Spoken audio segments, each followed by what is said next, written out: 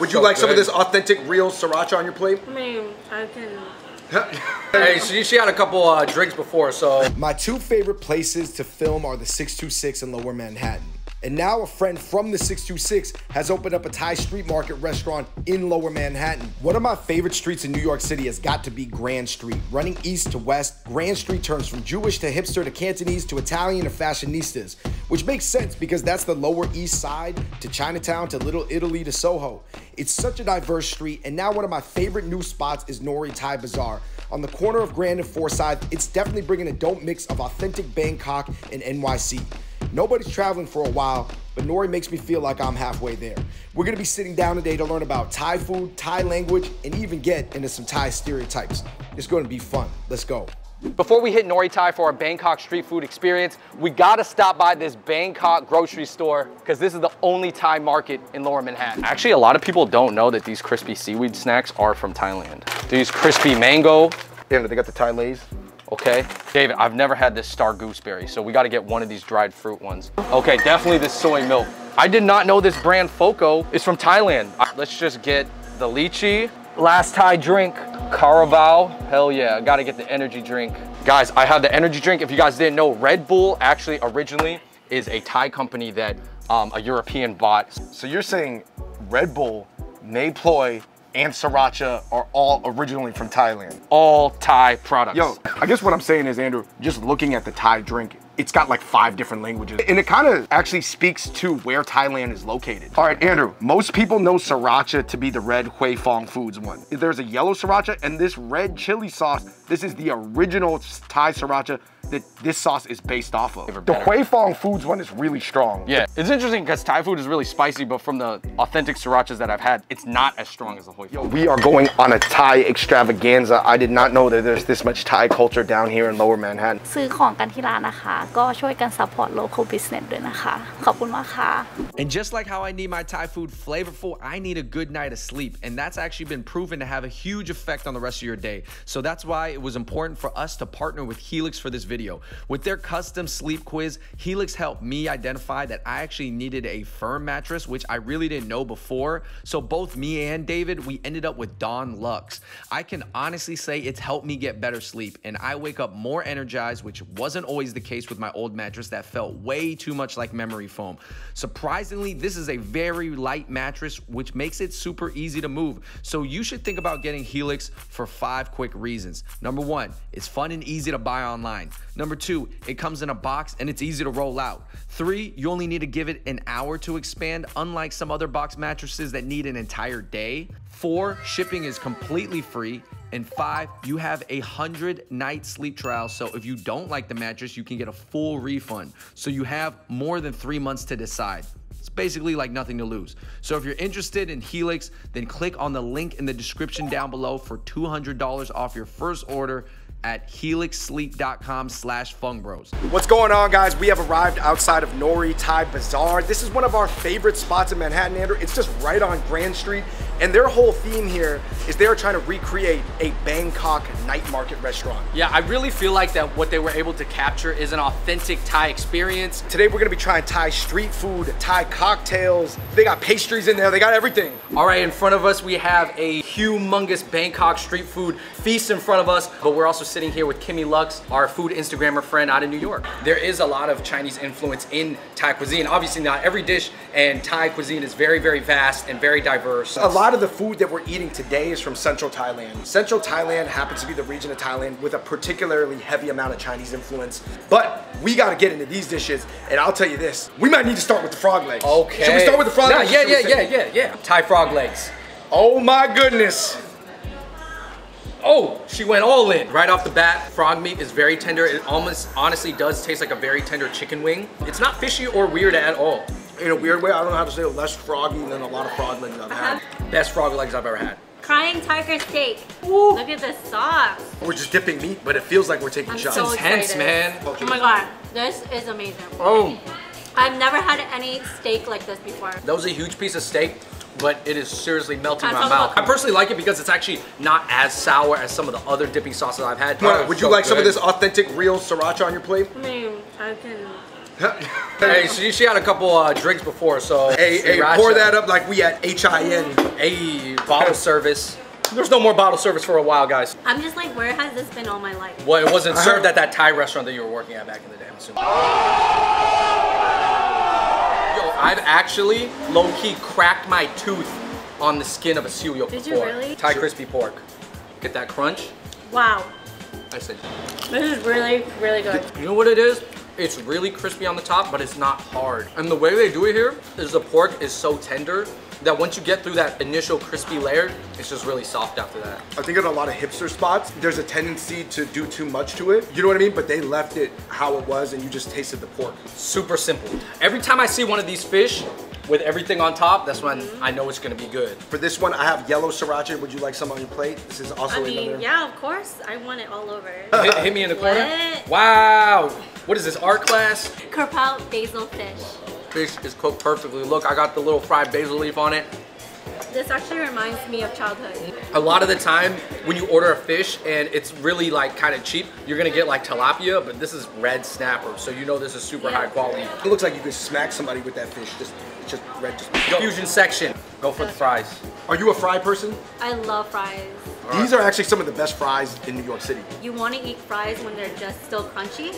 And this stayed crunchy for a while because we've been eating other things. Yo, this tastes like something that a fast food chain over in Thailand would uh, localize for. Right. Yo, those What, what, do fries. you, what do you give those good fries? I, Way more than five. But Off maybe- the okay. charts. Go ahead, grab a wing. This is the fish sauce wings. Sprinkled They're with so some nice. Let fried me go garlic. first.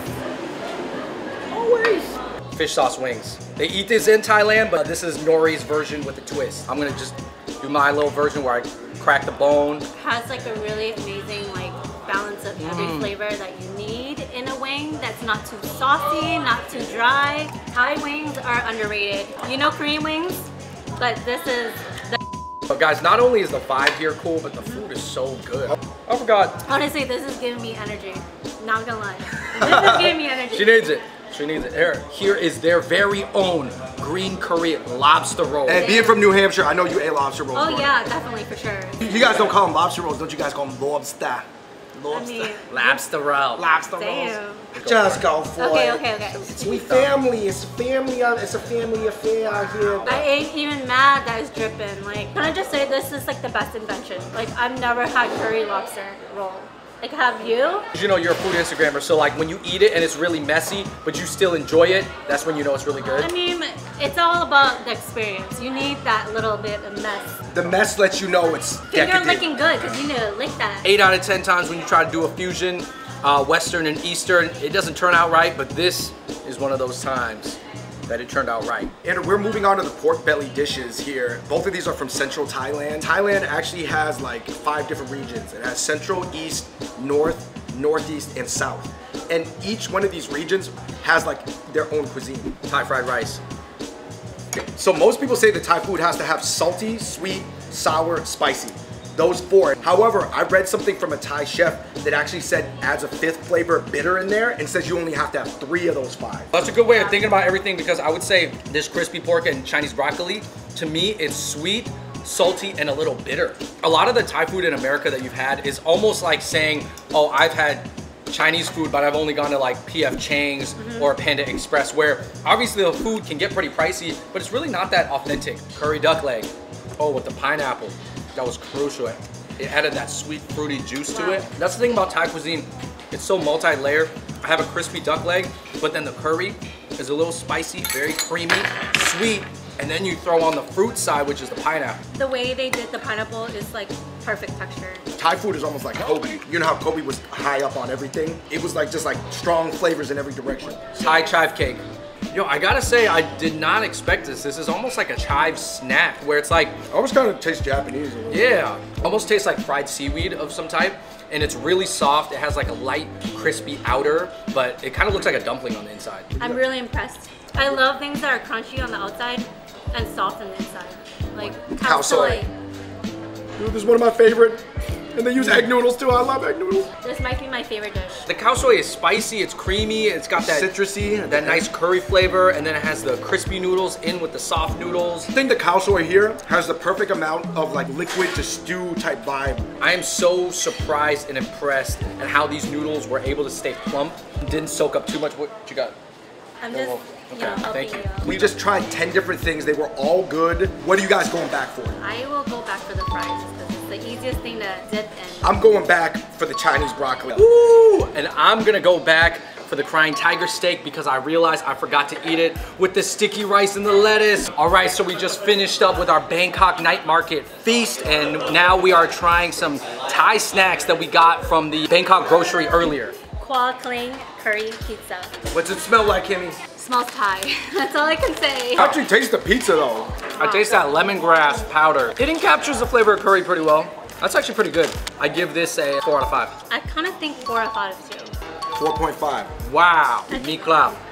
Oh, That one tastes like aloo bhujia, which is an Indian snack. there's fruit inside of here. It almost tastes like there's like cranberries mixed You know- into a very uh, light and crispy sweet cake. That tastes like it was more made out of stall than out of a package. Yeah. I actually would do definitely five. Five out of This is five. perfection. 4.5 out of 5 for me. I like Okay, crispy so- white sardines. It's Tom Yum flavors. Woo! That's a strong fish flavor. One of the girls was telling me earlier that she likes just the original flavor better. I would give this a 3 out of 5. I think this would be good for drinking. I, I kind of say it's my favorite. Without the drinks, I gotta give it like a, a 2.5. Real critical. I give it more than 2.5. I would say this is a four. All right, guys, here we have the gooseberry. I don't even know what I've never had a gooseberry before. Okay, this try. definitely looks like a Vietnamese. The tamarind treat, right? Yes. Even the streets out Wait, there, I don't it know from if they have them. The gooseberry was more accessible than tamarind. Comparing this to the tamarind snack, the tamarind is a little too spicy, so I like this one a lot better. And then you have these cocoa rice rolls made out of coconut milk, but these are the durian flavored ones. Are you a durian fan? Yes and no. Depends on how. Depends on the execution and the form. huh? Exactly. I smell it. I smell the durian. Grab one. Smells amazing. Woo. Literally like a roll of durian inside, like you just smell it. This is my favorite so far. This is the most mainstream tasting. I think everybody's gonna like it. And if you need to try the durian flavor, this is the best way to do it. Southeast Asian band, they know how to do durian. Last but not least, we have the crispy mango, freeze dried. Freeze dried mangoes. Yo, would this be fire in some breakfast cereal? Or with ice cream. You know what it is? I think that this was my favorite thing that we had, but if I was to eat it solo, I would have to go with the durian rolls. Okay, what's your favorite? I might say this because this sticks to my teeth more. Because I just have never had this fruit before, I'm gonna roll with the star gooseberry. This is Kimmi Lux endorsed, the Cocoa Rose. Cool. Hey, Kimmi, where can they find you on Instagram? So you can find me at Kimmi Lux at K I M M I L U X. Uh, that wraps it up for our food and snack section and we're actually about to go check out some Thai cocktails and to learn some Thai slang. Okay, so we have a selection of Thai beers here. Uh, could you guys explain to us each one? The Singha beer is the, the most popular one, which is the first beer that come in US, so people know as Thai beer. The second one is Charm, so it come a little later, but it become popular too. So what about these two liquors? Because I think a lot of people did not even know that Thailand has liquor. The most one that people know in here, even in Thailand, is Mekhong. So this one is the most popular here. Phraya is it's a high-end brand, also smoother. I feel like you got a lot of jokes. Come on, get in this. I would say that my favorite word is sap. Saps mean really spicy, like tasty. But if you if we use in slang, we just mean um, something very cool, really pretty, really sexy. Is that like a comment you would make on Instagram or something like sap? Right, right, Okay. right. Right now we're gonna make like special Thai drinks called butter pea. Um, we use like a slowly vanilla first for one ounce, and then um, we use like this one. You know the butter pea fine. It's like a Thai Thai flower that have like a purple color. Yeah, so we're gonna put this on the top. This one to top it. So Oh, it's to give it make the really purple nice. color. Yeah. All right, I'm here with Gig, one of the servers here. Gig, are you ready to get into the hot seat about some Thai stereotypes? Okay, Ready. Is it true that Thailand is the land of smiles? Definitely yes. I would say like Thai people they don't like speak English very well. So, like they try to help a lot of people when they you know they don't know how to communicate it. They just smile. And most Thai people uh, is very Buddhist, right? Ninety-five percent. Are you Buddhist? Yes, but I'm not strict Buddhist. You're a bad Buddhist. Is it, is it true that sometimes the expat people they get act a little crazy? the, the, the funny thing is if you come from states and then you have like some a little like problems, you just show the state ID or whatever, like you like from America. They're like, okay, okay, you good, you good, go, go, go, go. Okay, what's the best street in Bangkok? Bangkok, I will love you can go to the um, weekend Chatuchak market, which is like um, open air uh, local market. So they sell every single thing. If you go to Bangkok, have to go to the Chatuchak weekend market. Hi, my name is Andy. I'm the owner of Noree Thai. My name is Chad. I work with Andy. We wanted to introduce Thai cuisine to a neighborhood that never really had Thai cuisine. There are people coming in here by themselves knowing that they're going to see someone else here. You can shoot the you can watch the game, you drink a little bit, you, you enjoy the food, you enjoy the environment. That, that's our number one priority. All right, everybody, that wraps up our video at Noree Thai. Um, man, that was just like an entire like Thai day. I'm going to Thailand. I That's have. it. I did not You get a chance go. to go. Andrew, you've been there. I'm going to Thailand. It's one of those cultures that everybody's had some form of the food, but not everybody's been there. And actually, there's not that many Thai Americans will, where you'll just kind of bump into them randomly necessarily. So that's why it's really cool to have restaurants like Noree Thai. And the thing I like about it is that I've been to more expensive Thai restaurants in Manhattan before, but it's not an engaging environment. You come here, everybody's friendly. They have that neighborhood community vibe where you can ask questions and have fun with people. And uh, I think that, to me, is part of the Thai culture, and that's very important. All right, you guys, please let us know in the comments section below what is your favorite Thai dish. We could have had it today. We could have not had it today. It could have been more of a basic dish like pad Thai or pad siu, pad kimao. It's all good. Let us know in the comments section below. Number two, let us know another spot we need to check out in the area. All right, everybody, hit that like button, click subscribe, turn on the notifications, and until next time, we out. Peace. Mongol John. Back at it again. Hi. I know you want to share some of your food, so I'm gonna sit down with you. Let's do it. We're gonna see Johnny eat everything in about 30 seconds. This moment right here is what I live for. Let's do it. Okay. I gotta get this. We gotta get hands, this. man. Oh, oh, yeah, right, right, right. We Mongolian. We Mongolian over here. Wow. Boom. Okay. Hit him. What you got next? Chive Andrew, cake. Andrew Hold hyped up the chive cake, so It's interesting. I didn't, s- didn't say it was my favorite. It was interesting. boom. The wings. Hit him. Let me get you some authentic sriracha. Wow. Oh, okay, okay. Getting the king treatment right here. Boom. That's what I live for, man. That's One more, yo. do this. take- wow, he took the red snapper by the tail. No! Ah!